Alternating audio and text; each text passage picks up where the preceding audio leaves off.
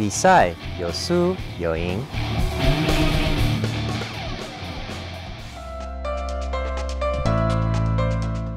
人生有他，一定会赢。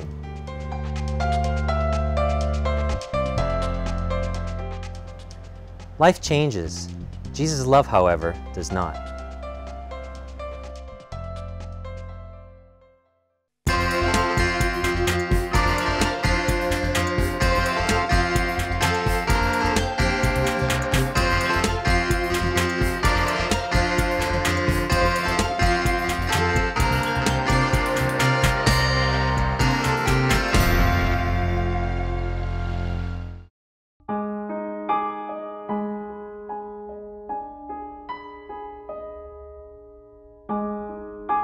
佢親眼見到家人被殺，I saw every single act how they killed my father. 佢從死人堆裏面爬出嚟，I think it took me about half an hour or so to get rid of the dead bodies over me. 長大之後，佢翻去揾殺死佢父母嘅兇手。I could feel that his body almost like a vibration. He's so shaky.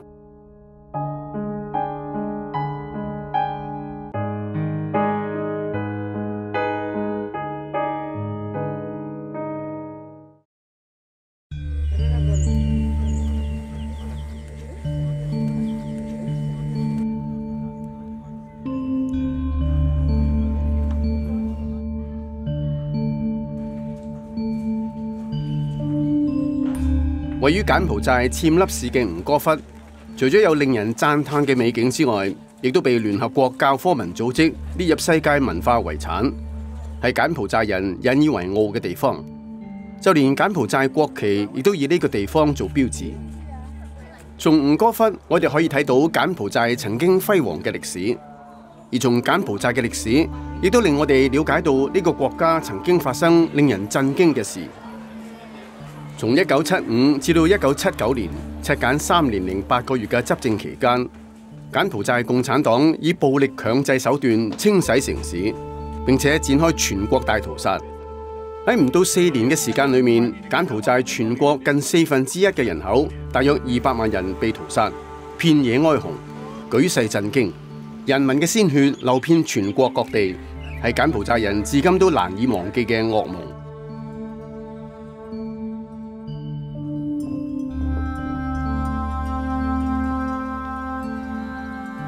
辛奎撒正係呢次大屠殺裏面嘅幸存者。雖然佢當時只係一個小朋友，但係佢仍然深刻記得當時嘅情況。One early morning, I went fishing with my younger brother.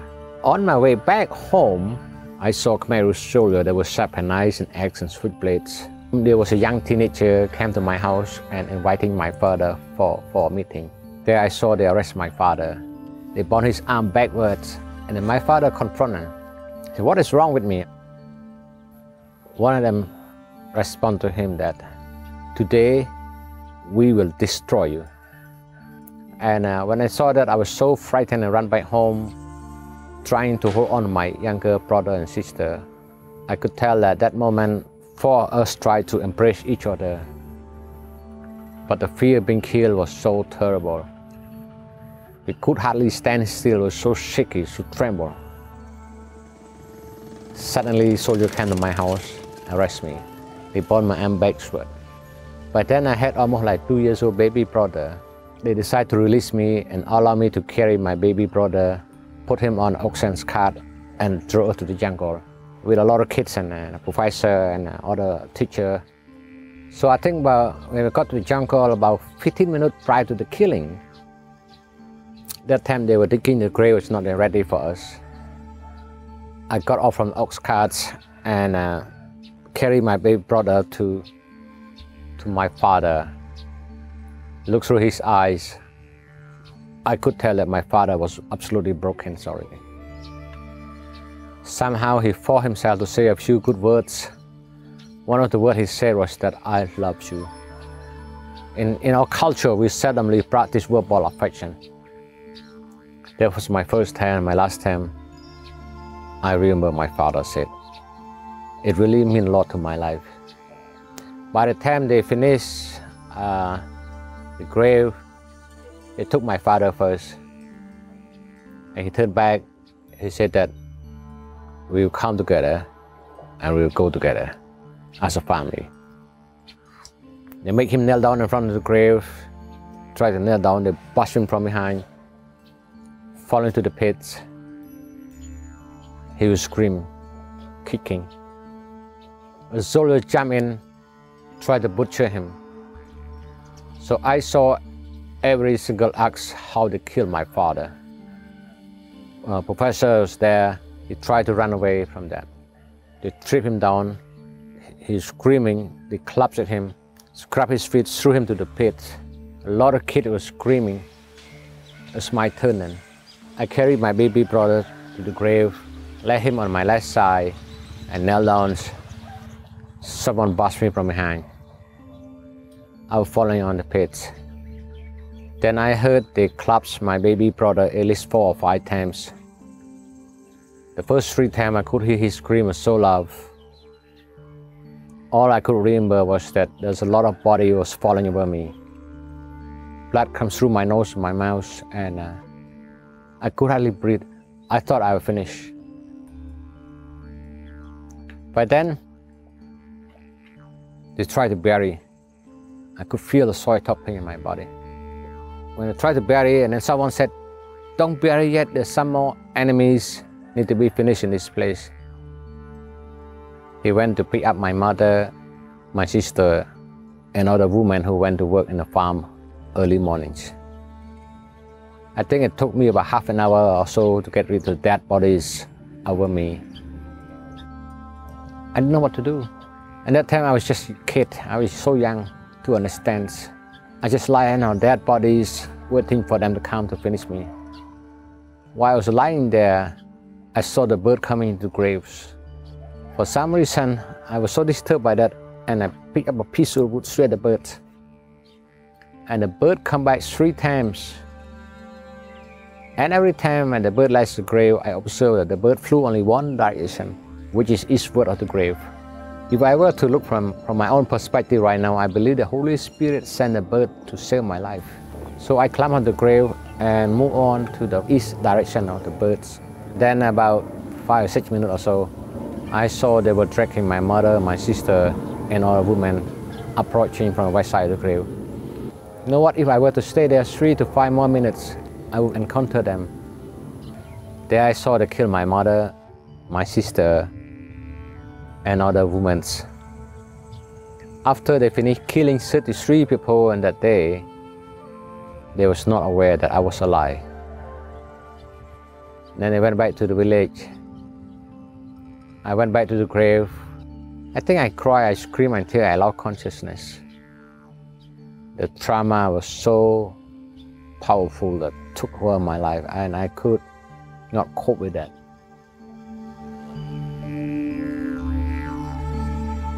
I made three promises in my life. The first one I, that I made was I wanted to take revenge from my family. If I could not fulfill the first one, I wanted to uh, dedicate my life to be a Buddhist monk. And the last promise that I made was that if I could not fulfill the first two promises, I would like to go far, far away from Cambodia. And then I went back to live village, and then I found uh, the man in the village tried to help me to uh, escape all of that. Anyway, it's a long journey that I survived. By 1979, and then I uh, returned back to live with my auntie returned back to live in a city, and then I went to school. It, it was so difficult for me to cope with my study. And that time I suffered what we call post-traumatic stress disorder. Unfortunately, no one in the society understanding how I went through mentally, emotionally, and psychologically. And uh, it was so difficult for me to cope with that nightmares, flashback, and anxiety, and uh, feeling insecure, and it was so difficult to live with that uh, PTSDs. Uh, however, uh, I strive my best to cope with my study. And when I complete my study, I decided to join the police force. My desire to become a policeman was very simple, uh, that I, so that I could return back to that village with a gun in my hands I want to suck their bloods. I want to take revenge.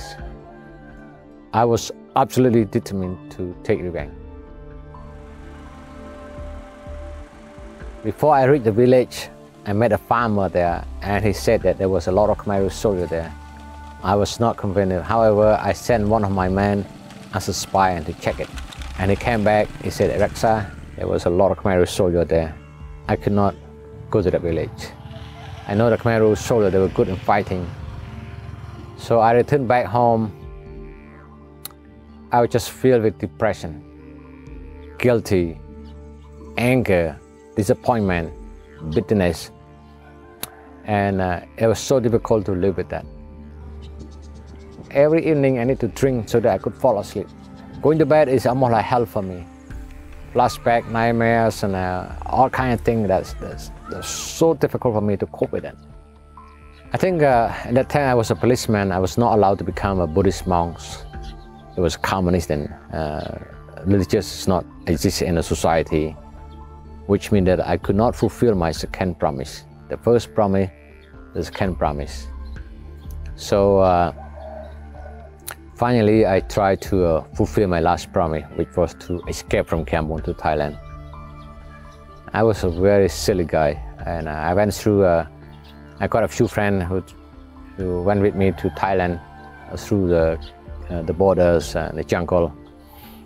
We walked in the jungle for two days and two nights before I reached the, the camps, there was a bad guy, so I didn't know it was Khmer soldier or Khmer resistance or whoever, I didn't know. When they saw us, they shoot at us. And uh, being a policeman, I know how to run. So I got out by myself and I ran and ran. I think I ran about a few hours. When I was running there, I saw a lot of dead bodies in the jungle but I cannot figure out why and how and what. I just kept running and running and run and run. So when I got out of that, I saw three men from a far distance and I ran toward them. I could see that they tried to make a sign like this, which was, they tried to tell me, stop running, stop running. When I got to them, they asked me where you come from. So I told them I was being chased. And somebody shoot at me a few hours ago. I just kept running and one of them said that that was impossible. Then I asked him why. He said that I ran through minefield. There were at least two million landmines underground. No one ever come out of that jungle alive. So after I heard that, I almost had a heart attack, you know. And I was just, oh my goodness. So they took me to the camp. And then uh, by uh, 1985, I was able to get to uh, refugees camp Thailand. When I was in the camp, I was able to uh, correspond with my cousin who lived in California. And I wrote to him, and he wrote me back and told me the person named Jesus. So I wrote him back that your Jesus cannot buy food. I need a real US dollar to buy food, not Jesus. Send me the money. Well, I kept telling me Jesus did that.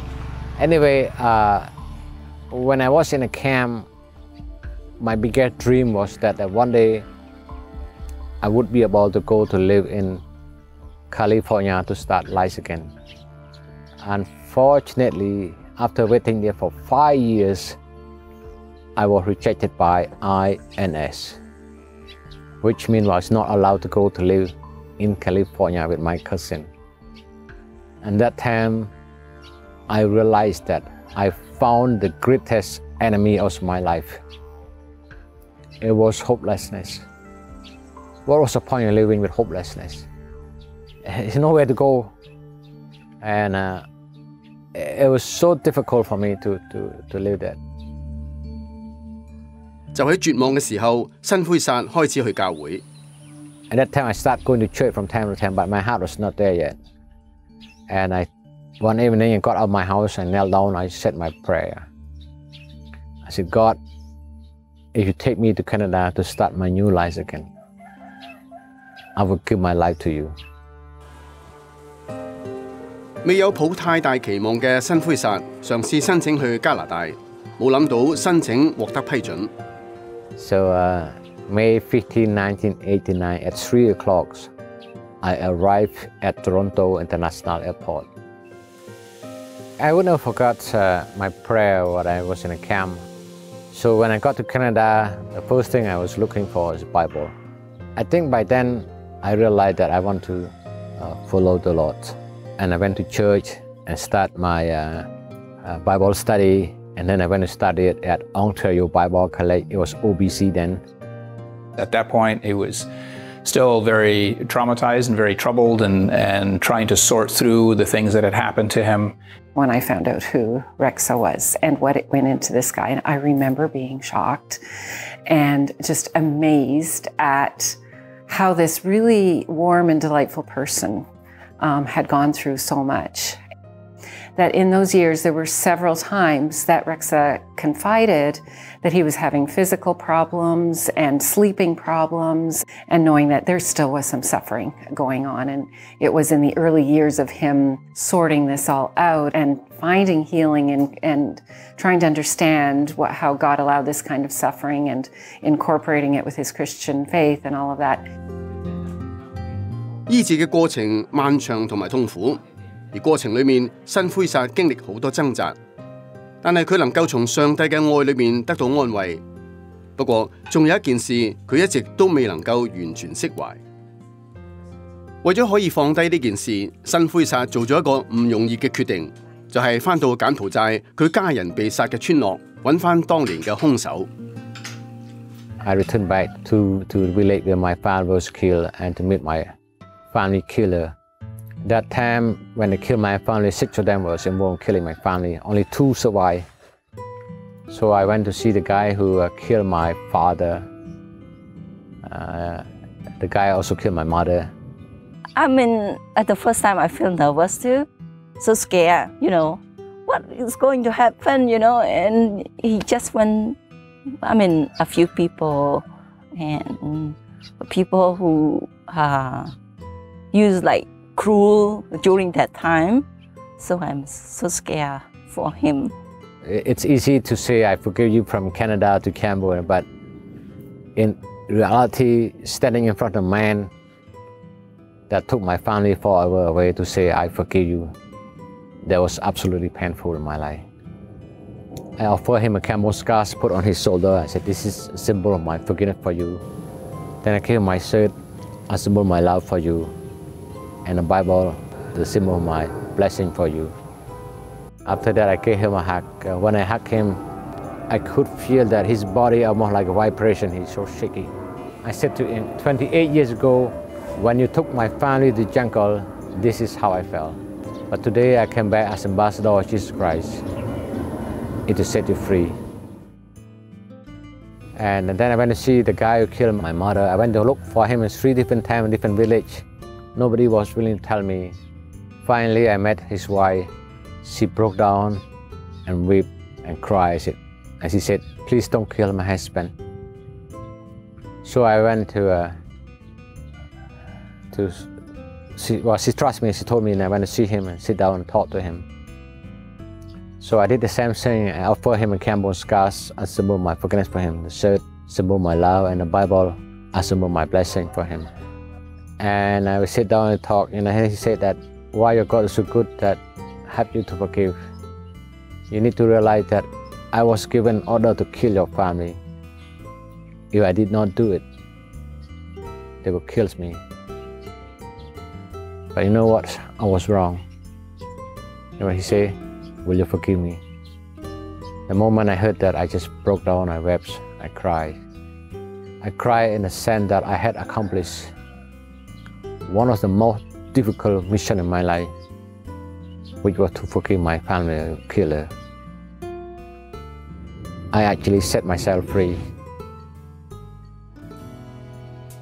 在你名山谷中，你领我走出来，我跌跌又撞撞，是你扶我站起来。 身是伤痕，你将我抱起来，我在你的怀中苏醒过来。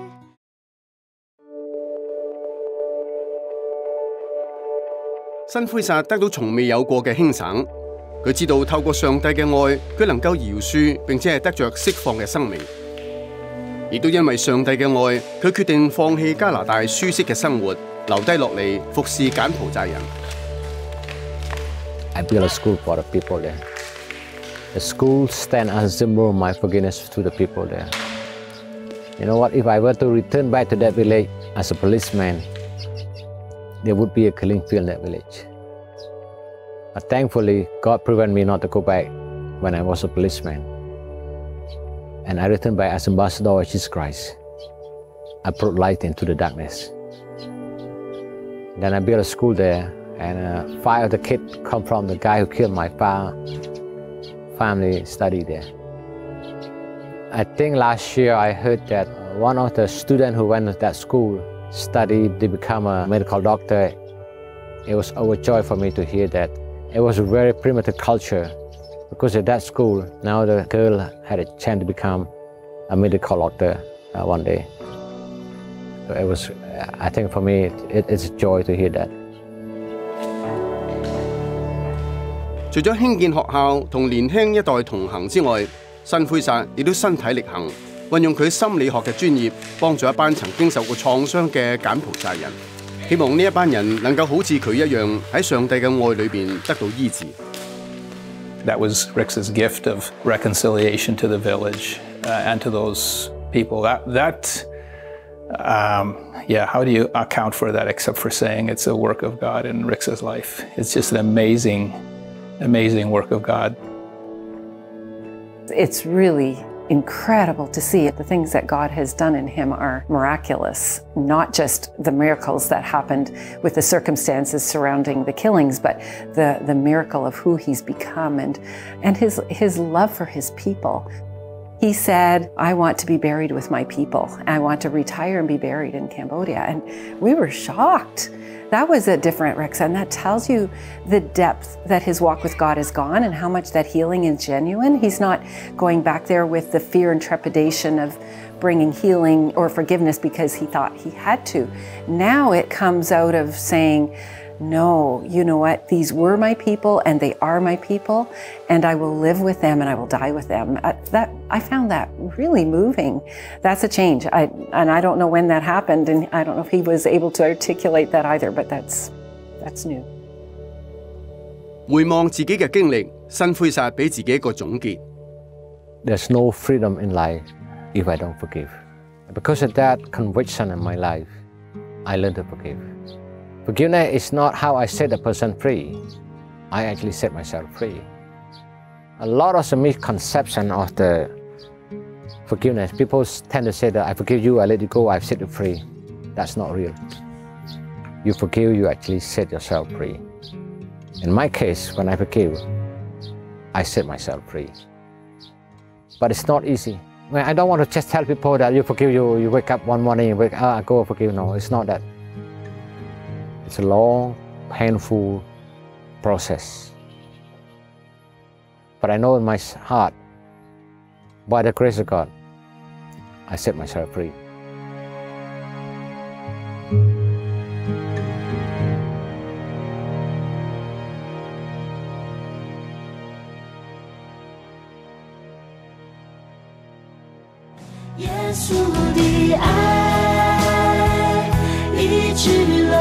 我的心，破碎的生命完整起来，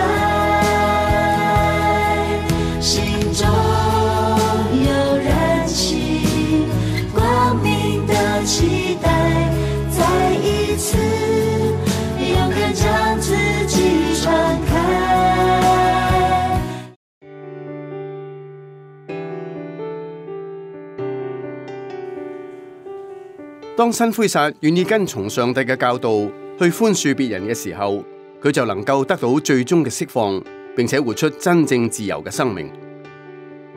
如果你都想得到自由嘅生命，歡迎致電恩語生命熱線或者登入恩語之聲嘅網頁同我哋聯絡，我哋好樂意同你分享基督信仰。願神赐福你。